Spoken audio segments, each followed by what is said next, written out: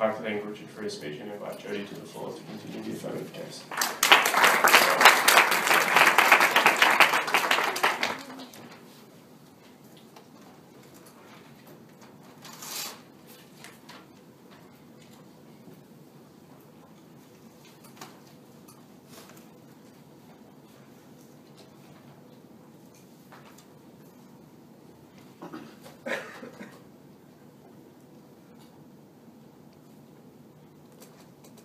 Mr. What you had from that side of the House was a really bizarre characterisation of these people. These people who just genuinely want to pay their taxes. That's why they're engaging in extremely aggressive accounting. That's why they're making themselves dummy and shell corporations that exist within different jurisdictions. That's why they're employing accountants, tax agents, and lawyers to try and manipulate every single loophole of the tax law that they possibly can. We just don't think that this debate is about people who are honestly and genuinely trying to pay their tax. And even if it is, what's the harm? Now they have to pay the tax that they always had to pay, Mr. Speaker. We don't think that that's a very big harm at the end of today's debate. So I've got three things, uh, sorry, four things that I want to talk about in terms of rebuttal, and then I'm going to move on to my substantive issue today's debate, which is about why we think this is an extremely harmful policy, because what it does is it allows the most rich within society to continually escape having to pay tax, and the fact that their model is never going to be able to deal with that, and it's never going to be able to catch up. And that's where I'm going to deal with their quibbles about the rule of law. So first thing I want to talk about here is the thing they wanted to tell you about loopholes in the tax law. They wanted to tell you the tax law is extremely complex and it's very difficult to tell exactly what the law is. The problem with that is that you can't just simplify it, Mr. Speaker. It deals with all types of extremely complex arrangements. So their solution was just to say, oh well, we're going to we're going to try and make it simpler. The problem with that is that you're just never going to be able to achieve that outcome. The second thing they wanted to tell you about loopholes was, well, actually, the tax uh, the tax agency is just going to punish people for not paying their tax, and they told you that they thought they were applied in a political way. They never gave us any analysis to why they would be applied in a political way. The second thing to say is that we don't think they're trying to punish them because we think they perform a very public service. We think that they have very good structures, and I'm going to talk about that a little bit later, which means they're not going to. Finally, as alluded to in my opening, what's the harm even if people don't intend to escape the law? There's no punishment, there's no criminalisation that they wanted to talk about. You just get a tax bill, Mr. Speaker, in the same way that every other bloody person in the society gets a tax bill for their normal yearly earnings. So we don't think that has any of the harms that they wanted to talk about there. Secondly, in terms of their point about disclosure, because they wanted to tell you people will now be more secret.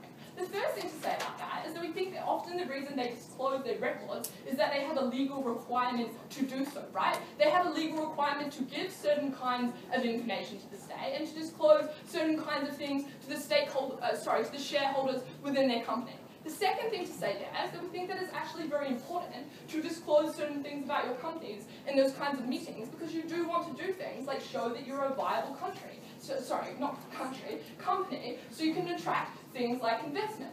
All of the other things we wanted to talk to you about, about people changing their incorporation status and moving uh, their money offshore, are things that we think that happen under the current system, and we think that he didn't fail, that he failed to deal with all the problems that we had with the current system that uh, we think exacerbate that. So what were the problems that we you? The first thing that we told you is that there's a very real lack of resources. Only responses we heard was, yes, they have lawyers. Well, yes, we agree they have lawyers. They don't have enough of them, Mr. Speaker. The second thing that we told you is that we think the courts are extensively tied up. And the important piece of analysis here that we gave you is that there are very real jurisdictional issues. They never responded to this analysis. And the problem with that is, is that it means that you often can't get the information that you need in order to make a prosecution when you are the state, because that information is contained within another jurisdiction. You have to ask another government for that information, but you can't force them to.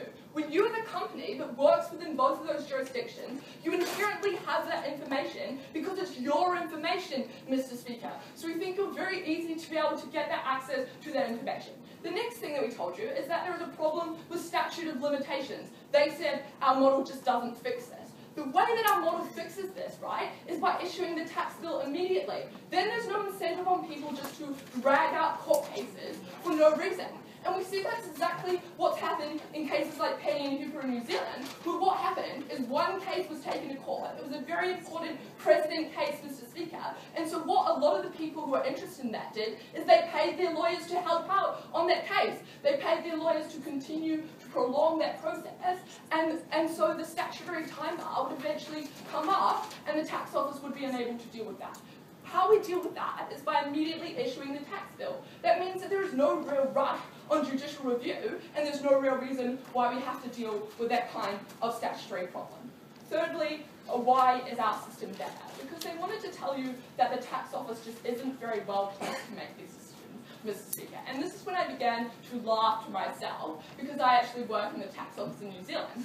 You know what they do? They sit around and they take court cases and they think about what that means about the principles of the law. And that's how they apply them in terms of determining when and when not people should pay their tax. They have entire departments that is all their job to do is to sit down to analyse what a court, what a judge said in a court case and how that means for interpreting the law. We think that they're very good to, at doing that. They're very good at taking cues from the judiciary.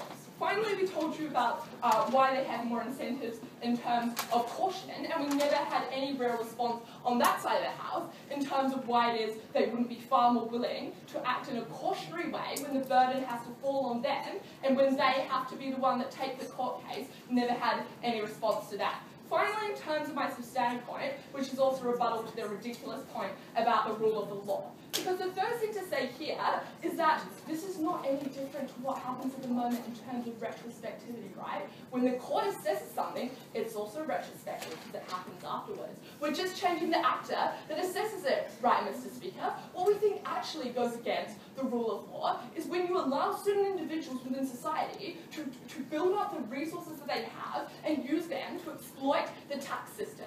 And that doesn't just mean that they're able to use their money and use their power to cut down to cut down the court system, to continue to exploit exploit tax uh, loopholes in the tax law. But the final thing that we think that they're able to do is we think that they're able to tie up the legislative process to continue to make these provisions ambiguous so that they can continue to exploit the tax law. And the reason why they're able to do that is because we think that large corporations actually are very good at getting their interests recognised by people who are within Parliament. We think they're very good at continuing to push through ambiguous provisions that mean that they're always going to have things that they can continue to exploit. And the reason why they do this is because they know that most of the time they aren't going to get caught. They aren't, they aren't going to be someone who's tried because that process is far too long. They're able to sidetrack the making of those laws so that those provisions are ambiguous. We're not going to change that on our side of the house, but what we are going to change is that we're going to be able to catch them within those ambiguous provisions. And the more and more that we do that, we think there's less and less incentives to try and push through those ambiguous provisions. Because now it doesn't matter whether the provision is ambiguous or not, because you're going to be caught either way. That's how we get better tax law on our side of the house, because we think we change those incentives on people when they're going to be caught either way. We think that that is how you effectively get a better tax code that provides more certainty for people. That means that people know better what the outcomes are, and we think that that is how we're going to solve this problem. It's terrible that they let major corporations continue to do this. They have no solution. We do. We propose.